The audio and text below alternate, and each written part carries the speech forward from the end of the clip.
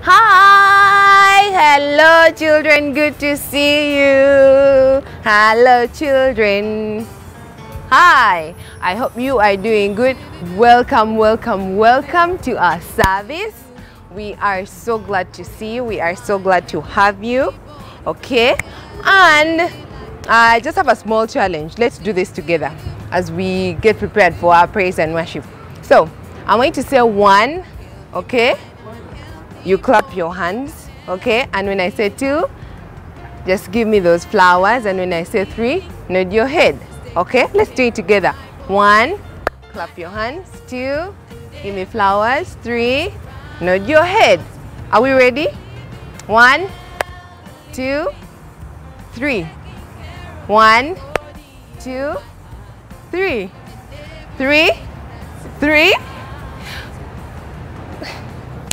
I hope you liked it. We will continue with the game. Now, before we go into our praise and worship, let us pray. Hands together, eyes closed. Lord, we thank you for today. We thank you for our lesson. We thank you for our value that is healthy living. We pray that even as we learn more about um, our value today, we pray that we'll be able to understand. We pray that you give us knowledge. And above all, Lord, may we be faithful in the word and do what it says. We love you, God. We love you, Jesus. Holy Spirit, we thank you. For in Jesus' name we pray. And everyone says, Amen. Let's go for praise and worship. Hello, children. You're welcome to praise with us as we declare that we are the salt of the earth wherever we are. It's a new song, so we want you to learn it with us. Come on, let's dance together.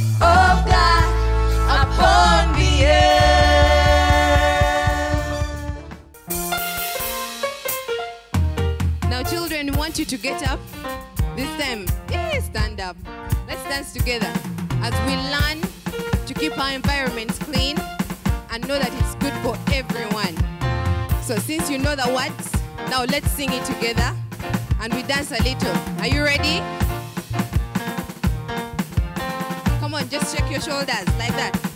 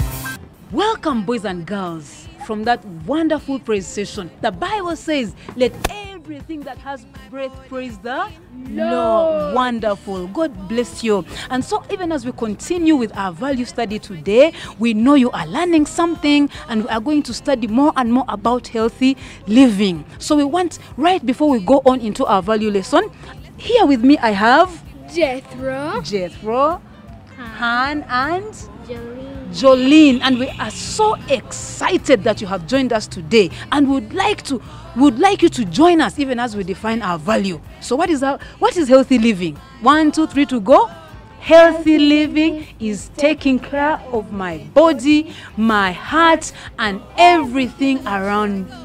One more time healthy living, taking care of my body, my heart, and everything that surrounds me. Wonderful. So, children, boys and girls, you've had that value lesson. It says we have to take care of our bodies, our hearts, and everything that surrounds us. Now, Jolene, how do we take care of our bodies? by brushing our teeth, Brushing our teeth, boys and girls, and brushing them thoroughly clean. Jethro, how do you think? How else do you think we keep our bodies clean? By bathing two times a day, Wow! Boys and girls, have you heard? Bathing two times a day. Now, some of you say when it's evening, oh, it's cold, I don't want to bathe. No, no, no, no, no. Healthy living says we should bathe two times a day. And then there's keeping our hearts also, taking care of them and make sure they are clean. So, Jolene, do you have an idea? How, how do we keep our hearts clean? by avoiding peer pressure. Avoiding peer pressure. Have you heard, boys and girls? What is peer pressure? Peer pressure is the influence of bad friends. Right? Have you heard? Peer pressure is the influence of bad friends. So when we keep away from bad friends, we are taking care of our hearts, all right? Which now brings us into our lesson point for today. Now, our lesson point for today is interesting, and we'd like you to say it together with us. One, two, three, to go. Keeping the environment clean is good for everyone. Wonderful. What is the environment? What is the environment? The environment are the things that surround us. Like trees, trees, buildings, buildings, houses, houses, mountains, mountains, land, land. stones. sto- so all the things that surround us are in the environment. So how do we take care of them? For instance, how do we take care of houses?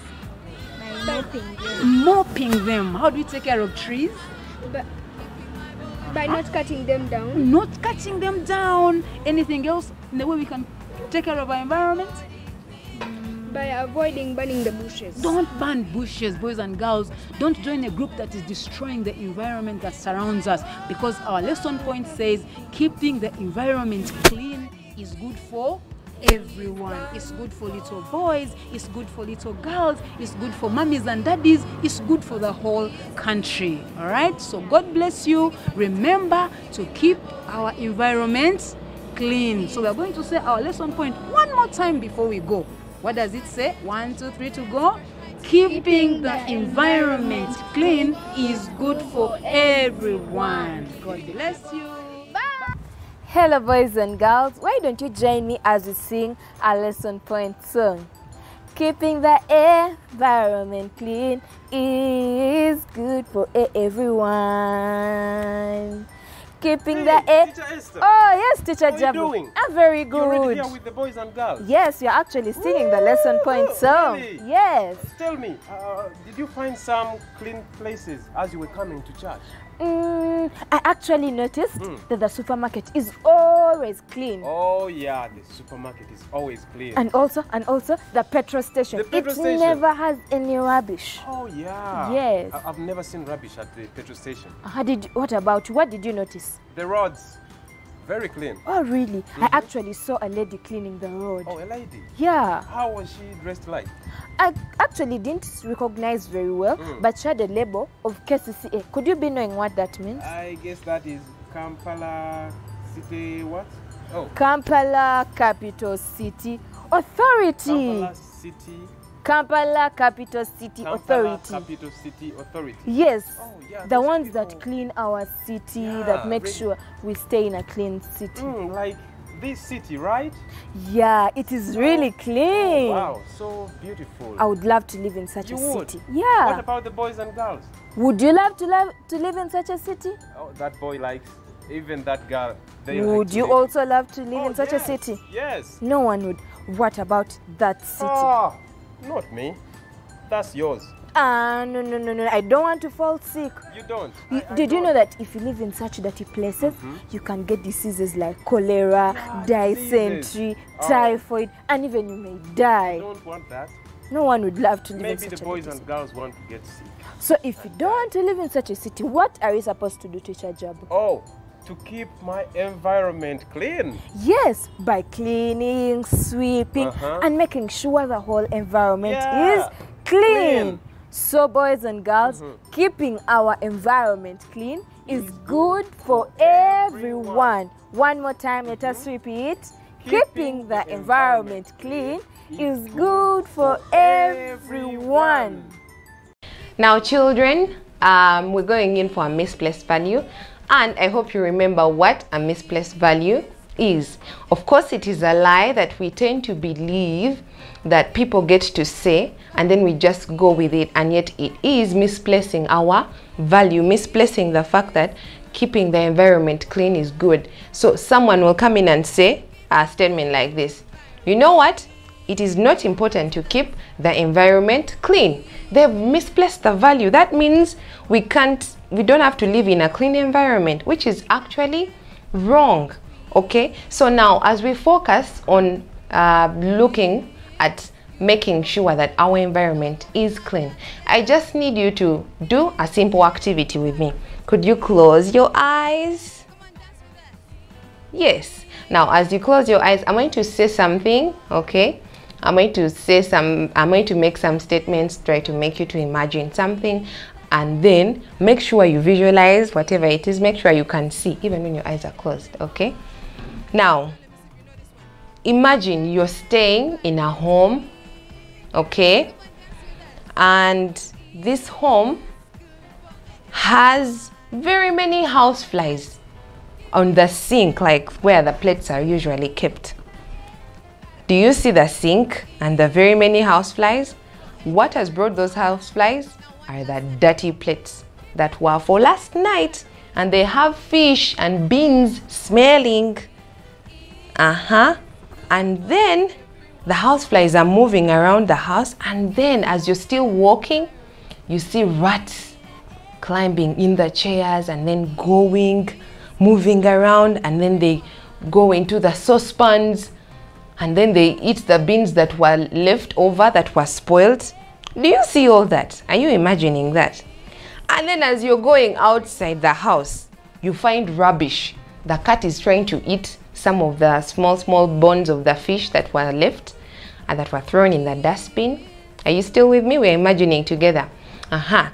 The, the, the cat is trying to eat those small, small bones. And now as it is trying to get the, the bones, it pours the rubbish and then starts to scratch all over and then push the rubbish everywhere. That is at the doorway.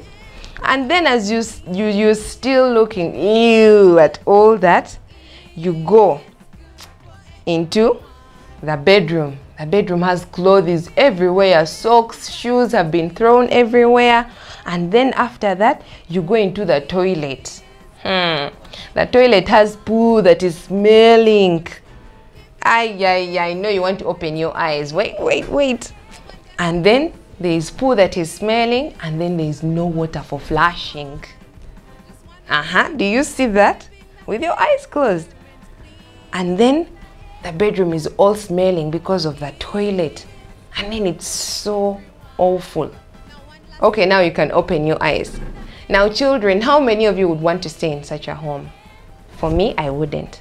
Well, that is the most, um, that is why we need to importantly keep our places clean, our homes clean, okay? Even when you are at school, I know it's been so long, but even when you go back to school, how many of you would want to sit in a, um, a classroom that is very dirty? rubbish everywhere or you go on maybe you've asked the teacher you want to ease yourself and then you go to the toilet and someone did something wrong okay and it's all dirty maybe they urinated everywhere the hole is so dirty you wouldn't want to go to a place like that so that is why it's important for you to keep your place clean, for you to keep your environment clean. Why I'm mainly focusing on your home is because it always starts at home, okay? You always have to start from home and then you can keep the rest of the places clean. If you went to a market and you're buying food with mommy or daddy, and then the person that is selling uh, maybe tomatoes has like sewage water around, or you've seen them washing the tomatoes with the sewage water, would you buy those tomatoes? Or would you buy those tomatoes that are next to the sewage place? No. So the same very way um, we wouldn't do such things is the same very way we need to start practicing it from home because it always starts from home okay? Imagine a home without a dustbin. What where would we pour all our rubbish? That's why we have dustbins okay? Imagine a home without a toilet. Hmm. Now where would you people be putting all those things that come from your body that are very dirty? Where would you put them? Where would you susu? Some of you don't want me to talk about those things but that is the actual truth. Imagine we didn't have water now that we have water you don't want to take care of the environment you don't want to clean up and when uh, the water disappears you see how important it is because it is needed in every area via food to keep our bodies healthy, even cleaning. Okay? So, children, it is really important for us to keep our places clean so that we avoid diseases. The best way to actually avoid the disease called corona is constantly washing your hands. Isn't that true? With soap. So if we didn't have water, then we would all have corona and we would all, you know, be infected and die. So we need to make an effort to keep our place clean, to keep our environment clean every day, all the time. Okay? Keep that place clean. Remove the rubbish and take it where it's supposed to be because keeping the environment clean is good for everyone. You inclusive, I inclusive, everyone. It is good for everyone. Hello, boys and girls. Um, we are going to listen to a Bible story with Teacher Martina from the book of Genesis, chapter 2, from verse 1 to 15. Enjoy the story. Hi, you're welcome to a Bible story. Um, this time, our Bible story is about creation since we've been looking at keeping the environment clean. Remember, uh, we said that the environment are things that were around us. So let's go back and see how creation was and see how beautiful the Lord made the earth, okay, before he actually even put man into it. Okay, let's dive in for a story. Now, when the Lord God made the earth, there was no plant, um, no earth, uh, no plant, no shrub that appeared because the Lord had not sent rain on the earth. But streams came up and watered the entire surface, and then the Lord God formed man from the dust. Okay? Now the Lord God had planted a garden in the east where he put the man he had formed. The Lord God made all kinds of trees grow out of the ground so that they would provide food. And this is how the Lord all kinds of trees.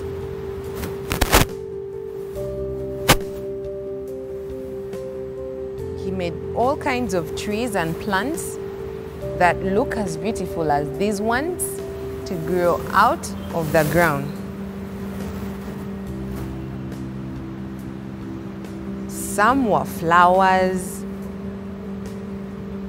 others were just so flowery. And I'm sure Adam loved the garden after he saw it.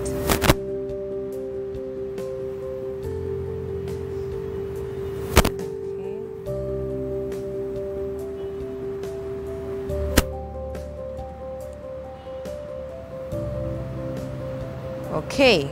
So after he made all kinds of trees and plants and flowers and all these things grow from the ground, he saw that it was pleasing to his sight.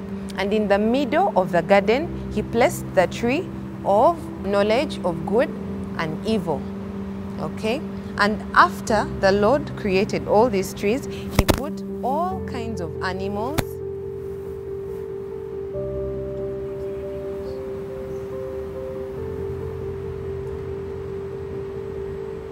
He put all kinds of animals and and the birds too that were flying in the sky.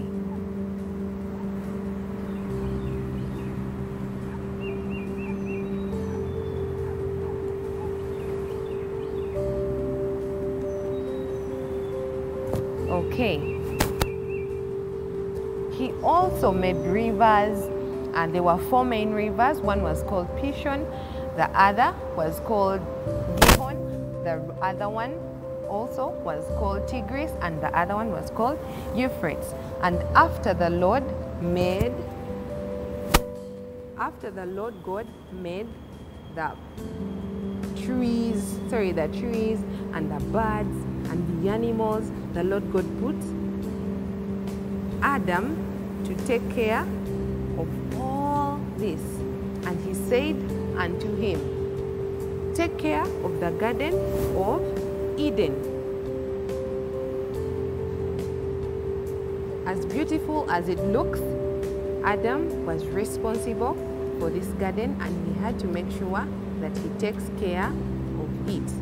And that is the end of our story. Hello, boys and girls. Welcome back from that amazing Bible story. Welcome. Guess what? Mm-hmm. The story was about the creation. Yeah, And God created very many beautiful Very things. many, so beautiful. created plants. What else did He create? Oh, the animals, uh, yeah, cows, beautiful cows, zebras. Yes, He did create Yeah. all of that. Uh-huh. And on the last day, He created Adam. Oh, yes. And he gave him a responsibility Uh-huh. of taking care of the garden of, Of Eden. Yes. He made sure the plants are watered. Mhm. He made sure that the cows would go and Mhm. graze. He made sure the garden was clean. Very clean, yes. Oh, but what if Adam and Eve, what if they didn't even take care of the garden? the garden would be stinking, and above all, God would not be happy Oh, if they refuse to do it, that is disobedience. Indeed. Uh oh, And God would not be happy. not happy.